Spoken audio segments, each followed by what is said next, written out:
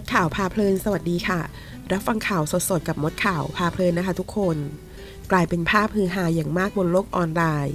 หลังโซเชียลมีการแชร์เรื่องราวของรูปปั้นเด็กน้อย ไว้ผมโกะสองข้าง แล้วนั่งพับเพียบมือขวาเชยคาง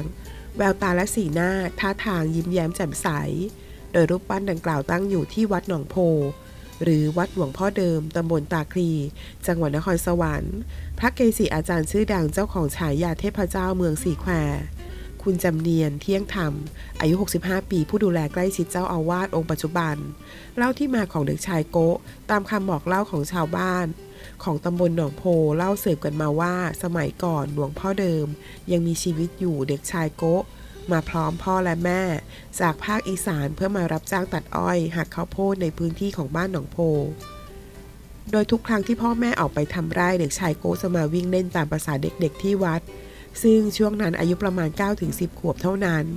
เด็กชายโกมีนิสัยที่แปลกอยู่อย่างหนึ่งก็คือชอบเรียนหนังสือ และช่วยหลวงพ่อเดิมทำความสะอาด ภายในวัดหุงข้าวหาอาหารช่วยเหลือพระพิสุภายในวัด จนหลวงพ่อเดิมแล้วก็พระลูกวัดในสมัยนั้นรักใคร่เอ็นดู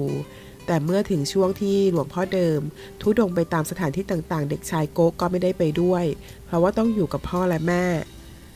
จนเมื่อหลวงพ่อเดิมกลับมาที่วัดถามหาเด็กชายโกะก็ไม่มีผู้ใดรู้ถึงการหายตัวไปของเด็กชายโกะทำให้หลายคนตามหาแต่ไม่พบ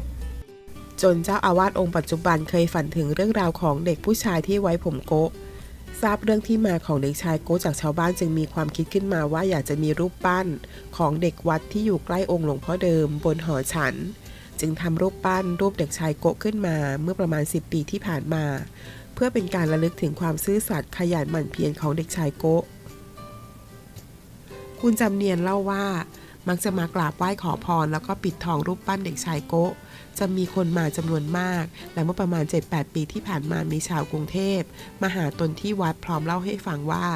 มีเด็กไว้ผมโกะไปเข้าฝัน